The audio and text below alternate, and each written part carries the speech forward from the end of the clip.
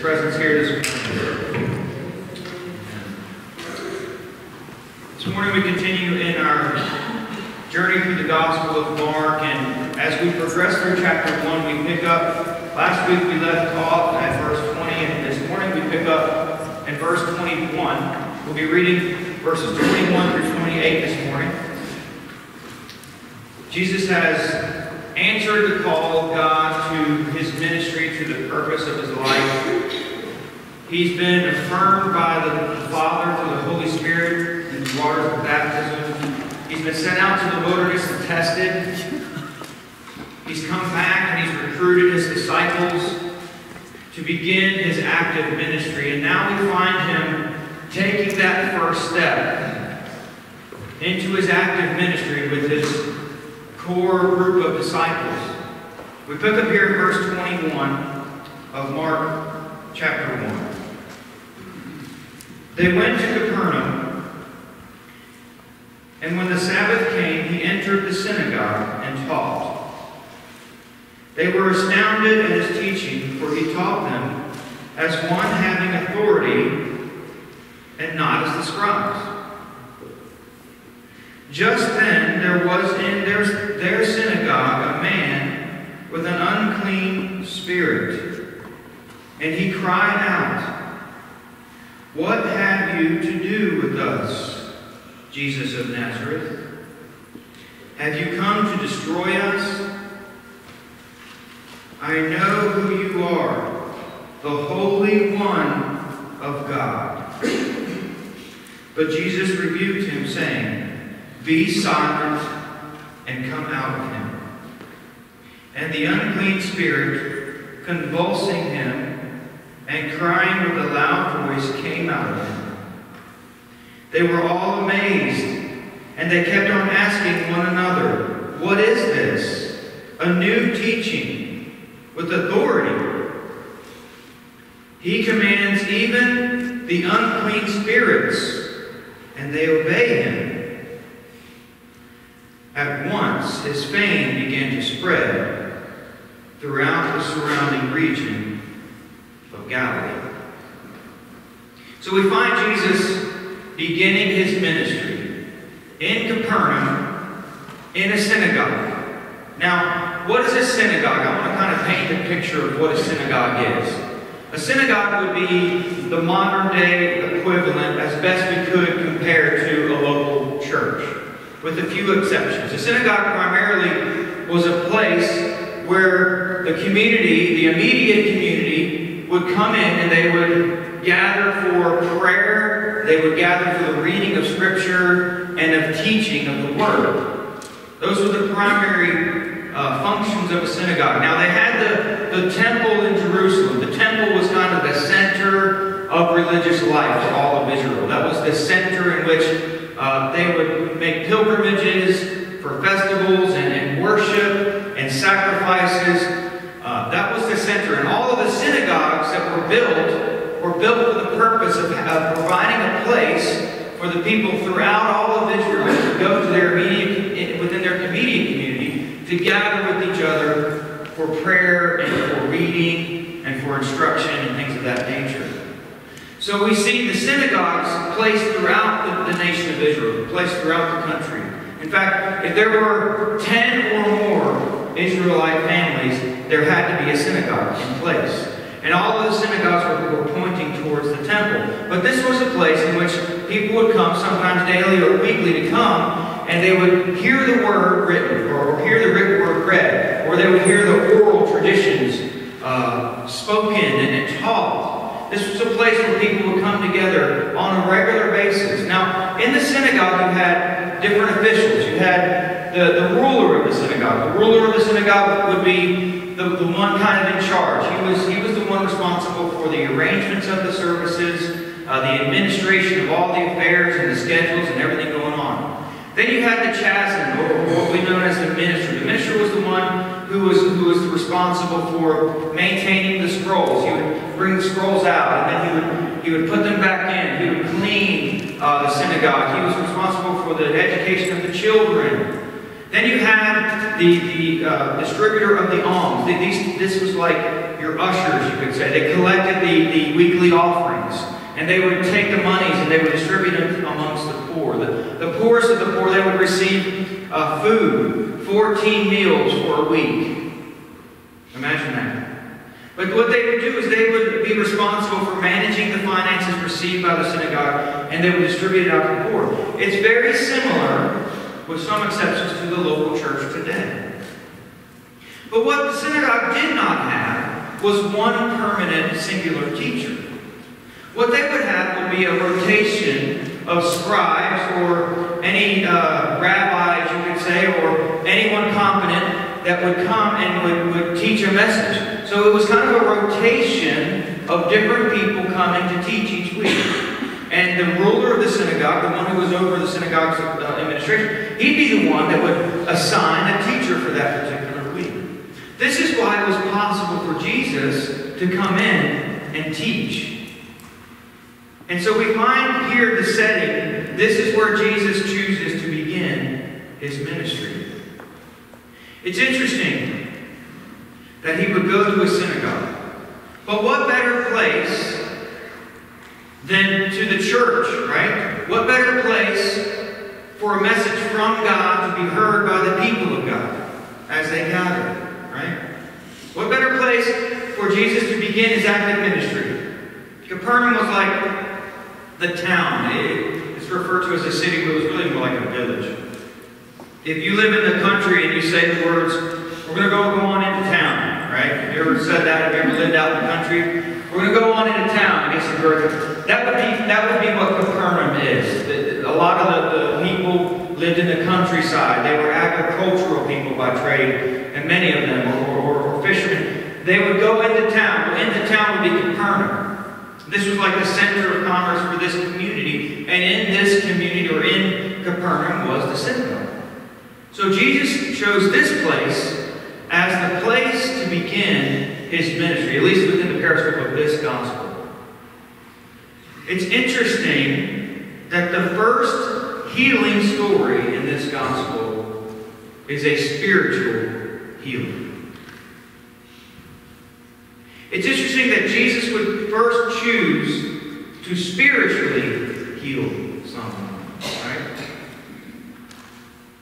Now, as we look at that choice, as we look at that moment, we see the response of the people as Jesus comes in, and we see him beginning to teach. And what we see throughout this story is what, what, what is remarkable about Jesus' teaching in contrast to everyone else. All of the other scribes, all of the other teachers that would come in. What they would do is they would, they would teach and they would begin their lesson or their message or their sermon with the phrase like this. They would say, from the words of Moses, and then they would teach. Or they would say, from the words of the prophet so-and-so, and then they would go on to teach. In other words, they would rest on the authority of another. When they taught their message, or then when they taught their sermon, they would rest on the authority of another person or another prophet or another man of God in Scripture, especially Moses, because people believe that, that the Word of God came directly to Moses, right? And so they would convey that, or they would teach that based upon the authority of Moses, based upon the authority of so-and-so. But not Jesus. Jesus came in on his own authority.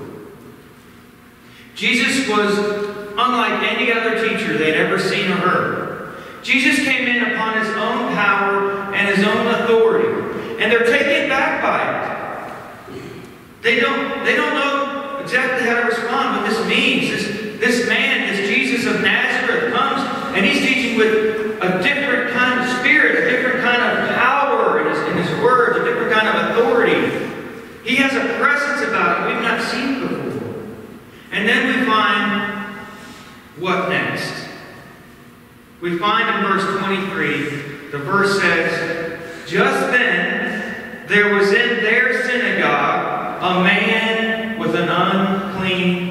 spirit. Yes, the church is a place where unclean spirits can be present. It's true. If the unclean spirit, were, I'm moving my equipment because I'm squeaking down here on the floor, so it's moving. That's better. Okay. Sorry. Uh, with, with the unclean spirit being present in the church, with Jesus there. Hmm. The church is not immune or insulated from unclean spirits, is it? Nor should it be. Because Jesus is here to heal and to save. We're not meant to be quarantined from those who need healing from Christ.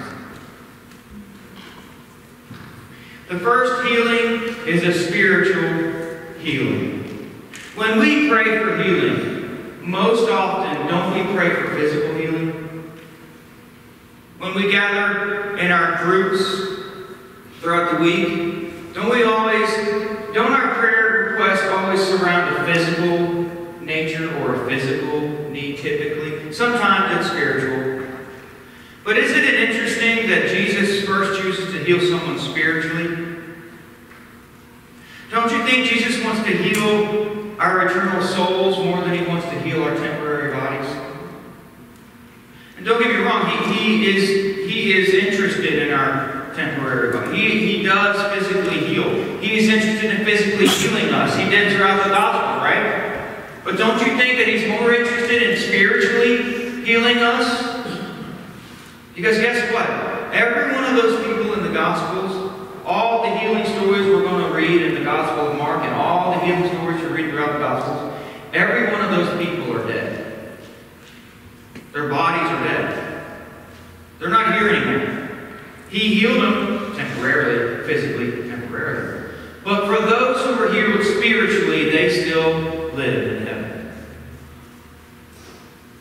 Jesus is much more interested in spiritually healing our eternal souls than he is physically healing, our temporary bodies.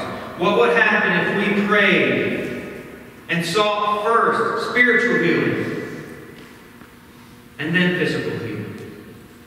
What would happen when we gather in our groups if our, if our first and primary prayer request or prayer focus was not about, Lord, help me with the pain in my knee, or help me with the back surgery coming up, and all that's valid, but what about, Lord, help me with the sin I'm going through?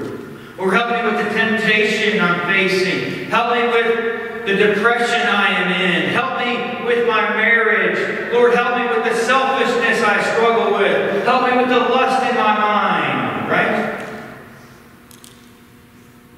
Wouldn't it be different if our focus was to be healed spiritually above physically? What would happen if we really believe Jesus heals us spiritually here in this place? What would happen if we really believe that there are unclean spirits among us and that Jesus is in, still in the business of healing? Jesus is interested in bringing wholeness to our entire person, our hearts, minds, bodies, and souls. It would serve us well not to compartmentalize demonic activity to a certain thing. Demonic activity or, or the activity of evil spirits, the activity of evil, takes on many shapes and forms. And, and, and in many, its activity is, is in many places and manifests itself in many ways. It would serve us well not to categorize demon possession or even demon activity or the activity of evil spirits as something that only happened in the Bible. Or, or in third world countries that we hear about. In this passage, as the words are written, the words are not demon possessed. The words were, there was a man with an unclean spirit. We, we don't quite know exactly what that meant. Scholars differ on what that actually meant, but I think it's, it's okay that we don't quite know. Because unclean spirits can cover a broad spectrum. What we do know is that the sufferings we endure today, whether physical or spiritual, are, are either a direct or indirect result of sin and evil. And Satan is very crafty. He is a master of disguise. He is, he is the master of deceit. In our culture, in our time, he would want us to limit in our own minds or define in our own minds demonic activity or the activity to, to, to this thing, these dramatic stories, but not in our lives every day, right? He would want us to call it something else. He would want us to see that as something else, not of demonic activity.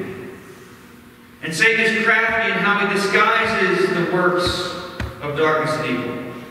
He adapts to different times and cultures to draw people away from Christ and into the darkness of sin.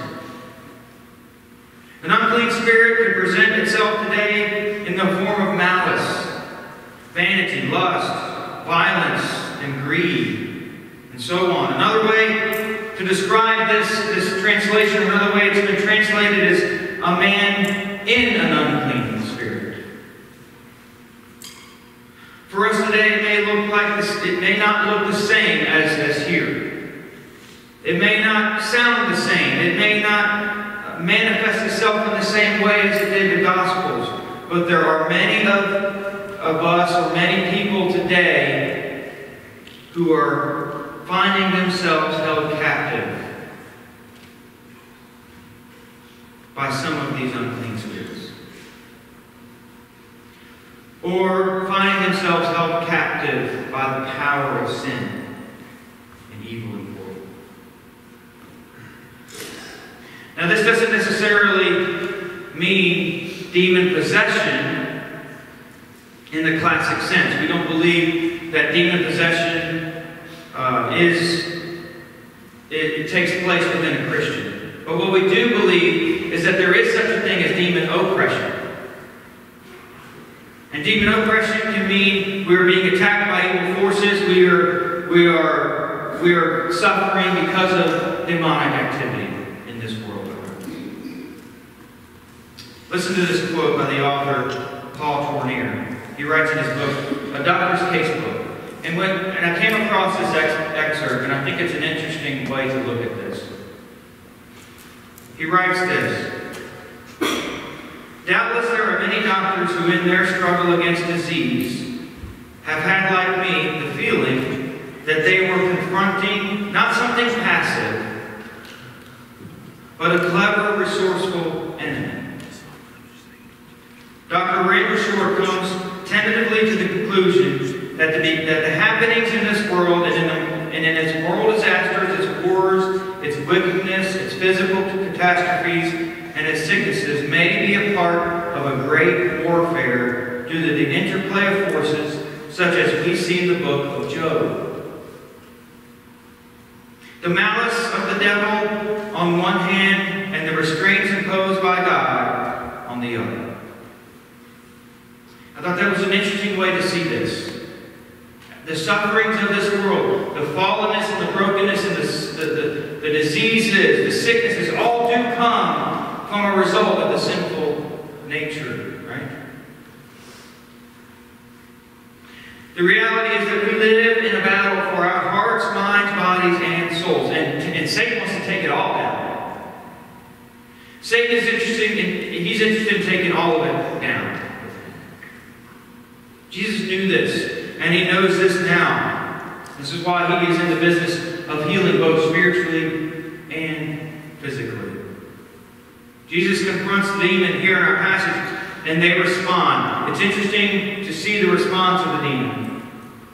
What have you to do with us, This translated word in the Greek is ti hemin kai soi. And, and it's best understood in the English to say, what do we have in common with you? It's almost like, why are you messing with us? Why are you bothering us? What, why are you here in our realm?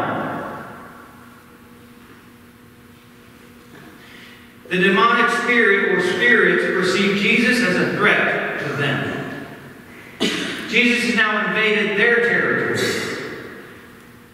The kingdom of God is now drawn near, and they don't like it. They don't believe he should be in time, space, history. They, they want him to remain in heaven. They want him to remain in this other dimension, in this other realm where God is. They don't want him to come into their realm where evil is and where the world is. But now Jesus is here, and he's invaded our territory, and he has a purpose and a mission to defeat the powers of evil and sin.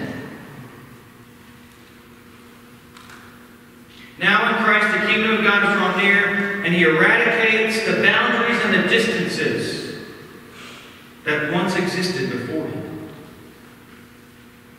Satan and his demons now are put on notice. Isn't that pretty cool? What a picture. Jesus invading the realm which hell once reigned. And ever since, the gates of hell have been attempting to hold back the advancing force of Christ and his church. Do you believe that? Now, based on our worldview, we, we, we may disagree. But if you look at the grander, bigger picture of history and the history of the church, you can see how from the time Jesus came to earth and beyond, the forces of Christ's church have been advancing on the forces of hell. There's a passage in Matthew 16 that captures this so well. It captures here because you see this, this, this situation where up to this point there's been these men, there's been these teachers, there's been the people, the people of notoriety, and they've been doing these things in service of God, but none of them have been Christ, right? And now we find this conversation between Jesus and his disciples in verse 14 of Matthew 16, beginning with this. It says, Now when Jesus came into the district of Caesarea Philippi, he asked his disciples, Who do you say that the Son of Man is? And they said, Some say John the Baptist, but others Elijah, and still others Jeremiah, or one of the prophets. He said to them, But who do you say that I am? And Simon Peter, Simon Peter answered, You are the Messiah, the Son of the living God. You see, there's the recognition, just like here. He's someone different than anyone else, right? And then what follows? Jesus says, Blessed are you, Simon, son of Jonah, for the flesh and blood has not received this you have not received this from flesh and blood, but from my Father in heaven. And then this is what he says. I tell you, you are Peter, and on this rock I will build my church, and the gates of hell will not prevail against it. There is the church, the forces of Christ advancing on the gates of hell. Now, I understand there's a wasp flying around. It's distracting. I get it. I've seen all of you looking at it and wonder, just try to focus. We're gonna we're gonna get this wasp problem fixed. Because it's becoming a problem every Sunday. Okay? If it lands on you, then focus on it and kill it. But otherwise, try to try to do your best to focus. Okay? Gates are set up as a defense. The gate, any gate that is built, is not an offensive device. Gates don't move. Gates stay in one place, and they're designed to keep outsiders out and keep insiders in. And when Jesus describes it as the gates of hell, what that tells me is hell tries to keep those who are inside in, and they try to keep those who are trying to bust down the gates out.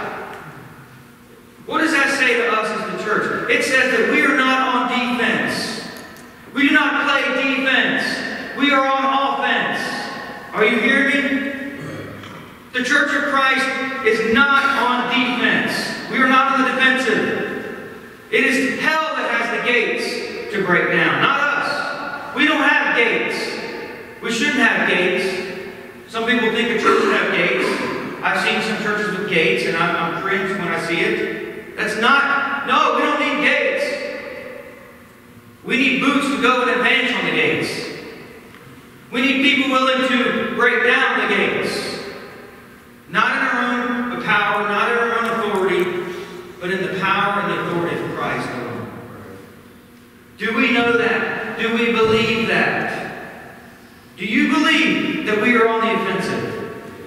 Because that makes a big difference in how you live your life and how you live within the church. If you believe that we're on the defensive and, and we're trying to constantly protect ourselves from the oncoming attacks of the world and sin and, and, and the devil. Now, yes, is that a part of our spiritual life? Yes. You read Ephesians 6, you see that there. But in general, as the church, we're not we're not called to, to, to, to cuddle up in a cocoon and just put our heads in the sand and, and, and wait for Jesus to come back. No. We're called to go be on the offense and be a part of Christ advancing into the world to defeat the, the powers of sin and hell. And He's called us to be a part of it. We live in a world that needs to know who Jesus really is. We need, we, we live in a world who needs to see the power of Jesus Christ at work. And we are the ones He's called to reveal that to the world. The world is not going to automatically recognize the power of Christ. In fact, humanity is, is the last to know. How many of you have ever been the last to know something?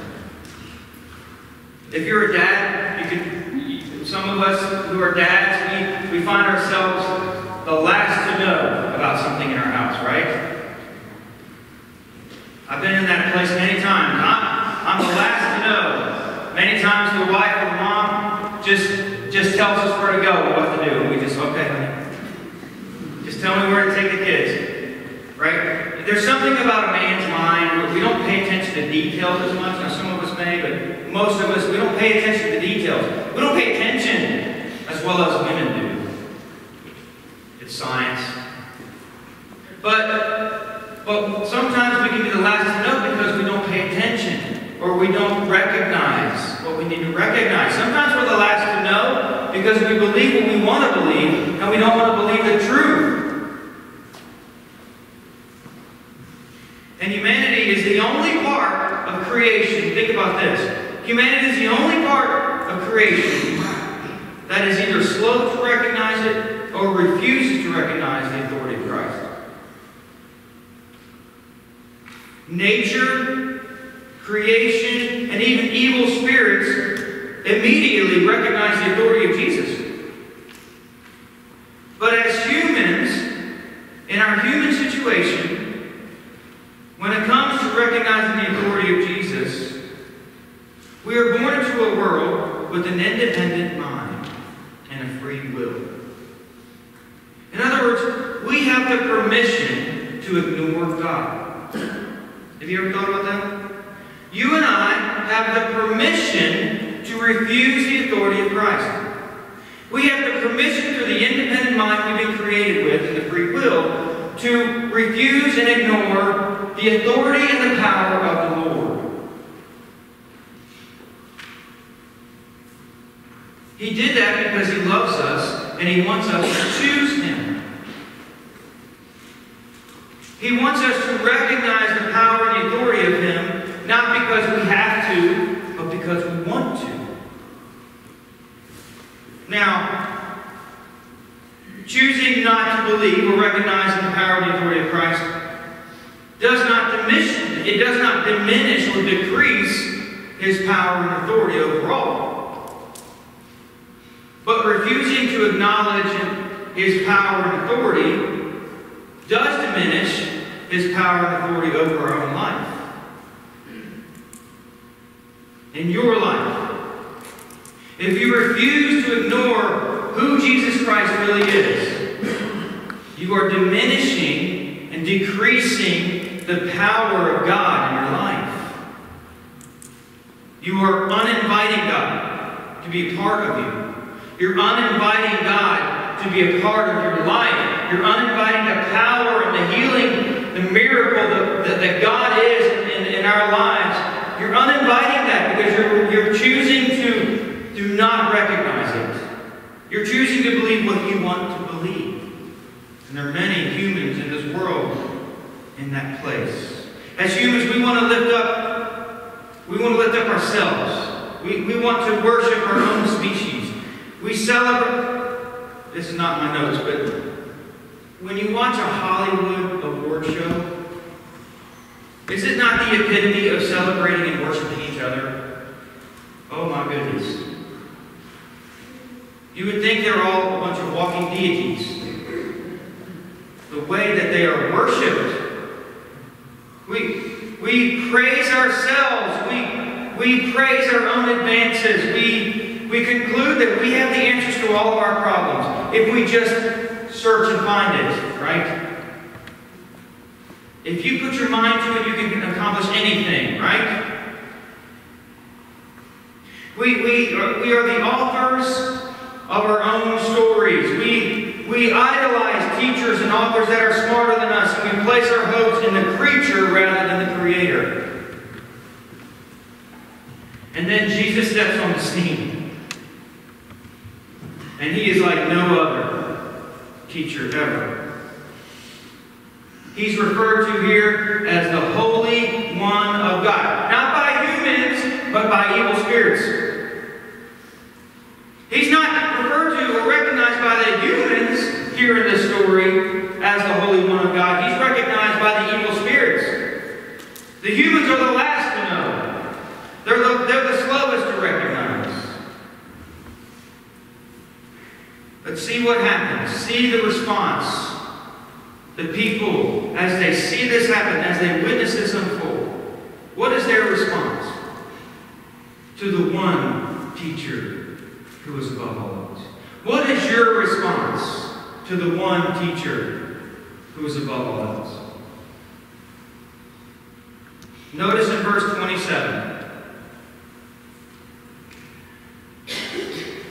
says this They were all amazed and they kept on asking one another, What is this? A new teaching with authority. He commands even the unclean spirits and they obey him. Now I read that and I say, wow, that's pretty cool.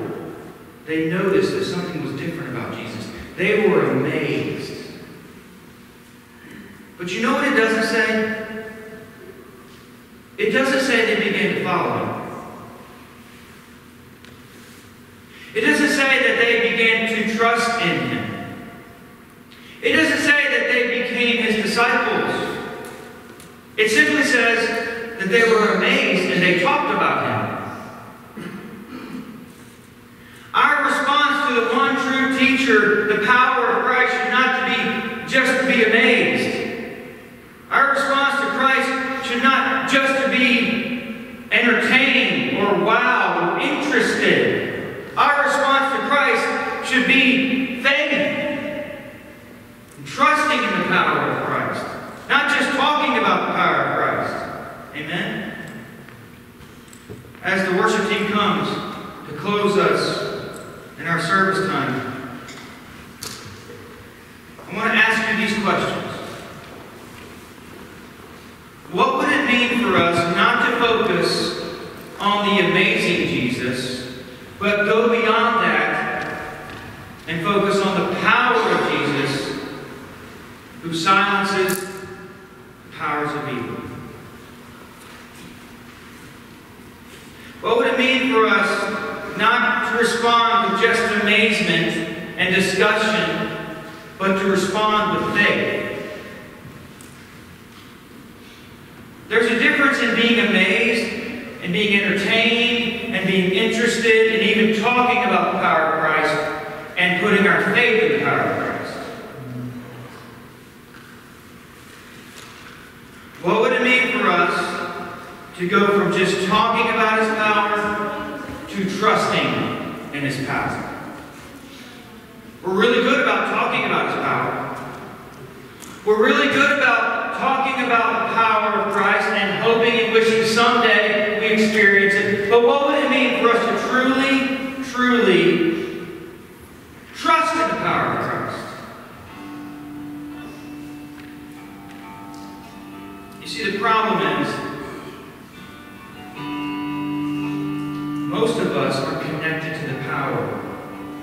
as well as we should be. Most of us are not deeply connected to God. And then we wonder why we don't experience the fullness of His power in our lives. We believe. We have a relationship with God. We, we even acknowledge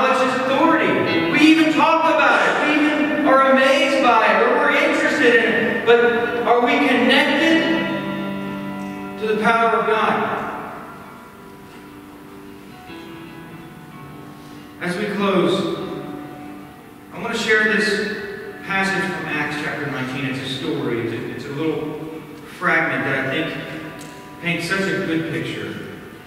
It's in Acts 19 11 through 16, and, and it's about uh, seven sons of Sceva. Seven sons of Sceva were, were Jewish people that believed in, in Christ, but they didn't, and they may even have a relationship, but they did not really know him fully. And they see Paul, the Apostle Paul here, going around performing miracles. And even the clothes they would take the clothes that Paul wore and they would, they would put them on the diseased, the lepers, and, and those who were sick, and they would be healed. The power of God was all over Paul's life. And these seven sons of Sceva, they saw that. And they wanted to Imitate that. This is what happens. Verse 11 in, in Acts 19 says, God did extraordinary miracles through Paul, so that when the handkerchiefs or aprons that had touched the skin were brought to the sick, their diseases left them, and evil spirits came out of them. Then some itinerant Jewish exorcists tried to use the same name of the Lord Jesus over those who had evil spirits, saying, I adjure you by, by the Jesus whom Paul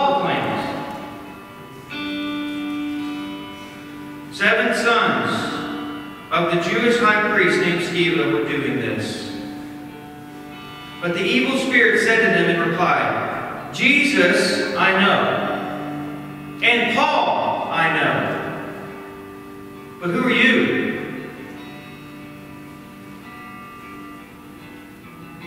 Then the man with the unclean spirit leaped on him, mastered them all, and overpowered them, and they fled out of the house naked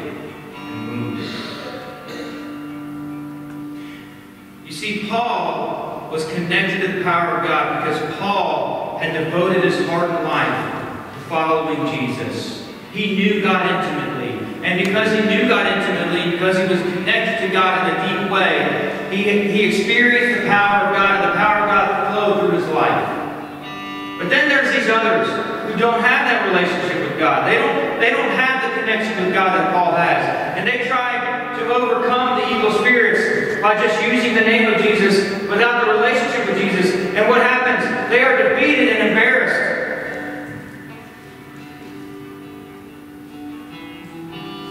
If you try to face down demons of addiction,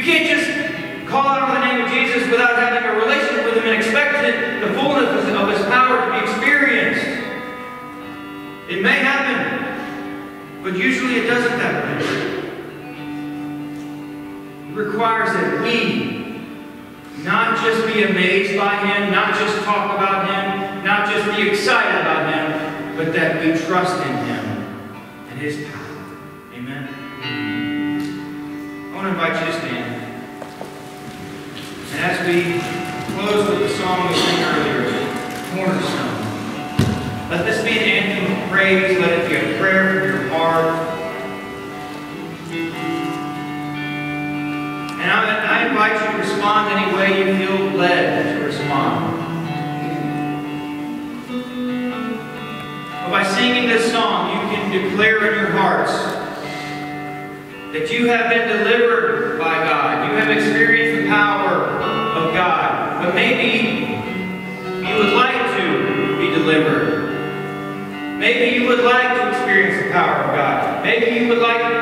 respond in some way to say, I want to experience the fullness of God in my life. I want to go beyond amazement and beyond interest, and I want to go into faith and trust in a deeper way. And if you want to do that today, respond. You can come forward. You can find someone. Pastor Mike is here.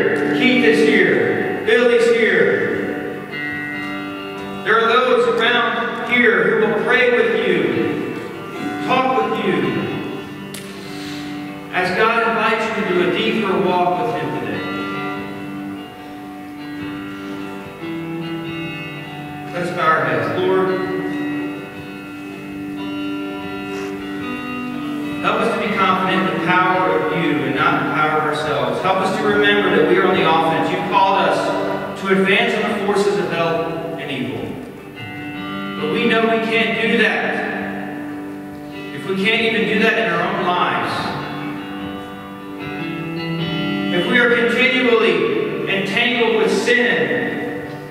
continually entangled and embattled with the evil spirits that ingrain over our hearts and minds, how in the world can we even go out to the world and share Christ with others? Lord, we pray in this moment that you would come into our hearts in a deeper way. We pray that you would revive us. We pray that you would give us a hunger and a desire to know you above all else. Help us not to someone else on a pedestal. Help us not to ever put our trust in the authority of anyone else other than you. May we respond in faith and not just talk. We ask all of this